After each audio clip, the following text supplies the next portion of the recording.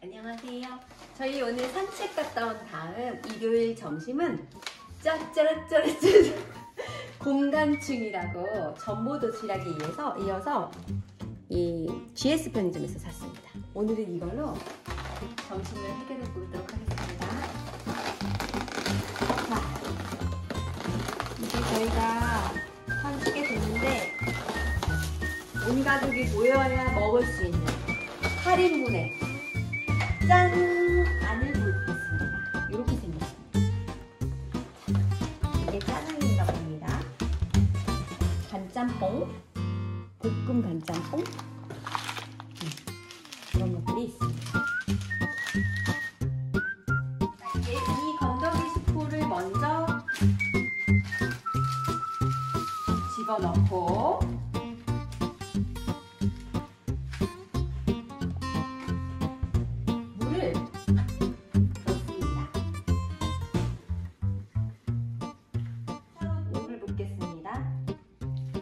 이게 얼마나 물이 얼마나 들어가는 겁니까 대체?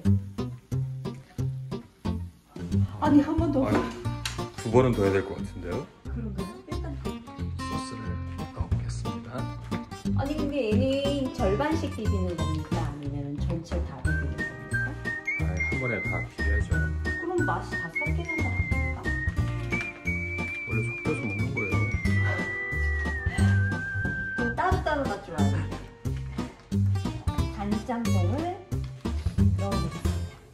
이거는 비빔면 이거 비슷해 보이네.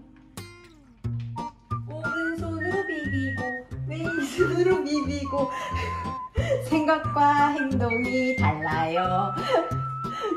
못해요 사실 그렇게. 이쪽은 이렇게 비비고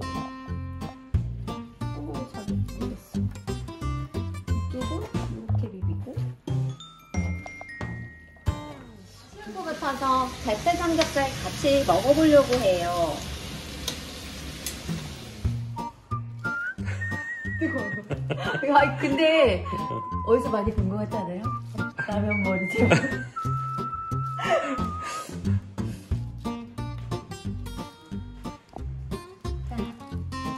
대패 삼겹살과 함께 먹는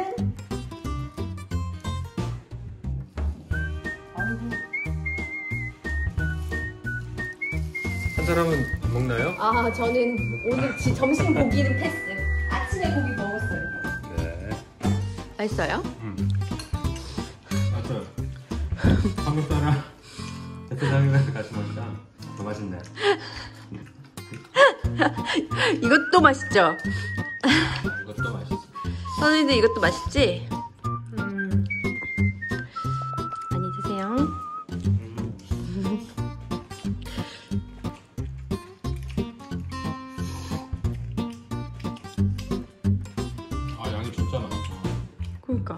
다 먹을 수 있겠나 먹을 수는 있어요.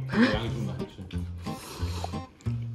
자신감 좋습니다 양이 많긴 많지만, 아, 그래도 다 먹었습니다. 맛이 괜찮아요? 네. 네. 고맙습니다. 네.